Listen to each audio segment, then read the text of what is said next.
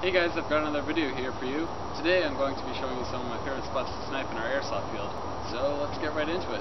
One of my favorite spots is right here in this little half triangle fort and the reason for that is you can look out all the way to the other side of the property with the exception of this tree right here in the way. But other than that you can see clear to the other side and you've got this wall right here protecting you if you need to reload. And then also protecting right here is this little pile of logs and you can use that to snipe over and then if someone starts shooting at you you can duck down again.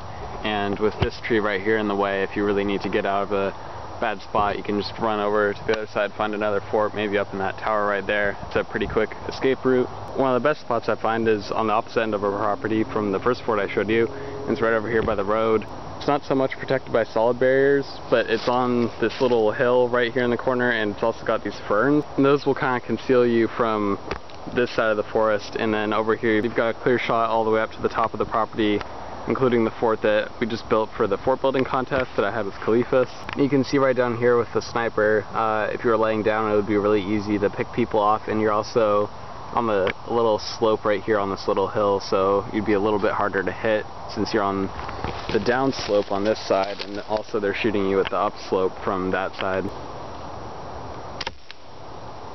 I should take you to the next spot which is right there under this fallen tree and that's probably one of my favorite spots. So when this tree grew out it bowed out this way so it actually left a perfect little spot when the this limb fell. There's just this little alcove right here that you can shoot out from underneath and it would be pretty hard to be shot at and you could even pile up some leaves in front so they wouldn't be able to see you as well. And this way when you're way back here or even further back it would be extremely hard to tell that someone was under there.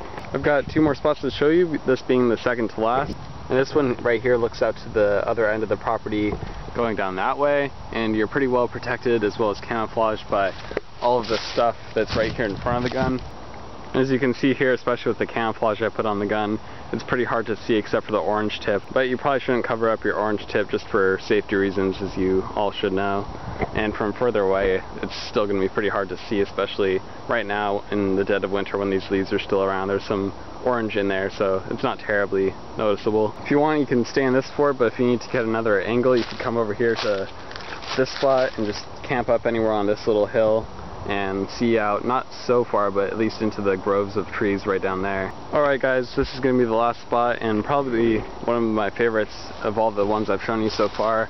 You can come in to this tree right here and this is right behind the big tree fort and you can get in here and crouch down over this little knot of a root ball and look out in both directions or you can get into this little grove of saplings right there and I've used that spot multiple times in battles and there's enough room at the bottom to see out but a lot of people most of the time can't see you when you're lying down behind these trees so it's a really good spot. The one disadvantage is right here where there isn't a tree uh, you can often take fire from two directions at once so it's good to have another person on your team to cover this side and the game type I played where I use this spot a lot is we have two snipers on this side of the field and then everyone else trying to kill the snipers coming from that edge over. I think that's going to be it for today and as always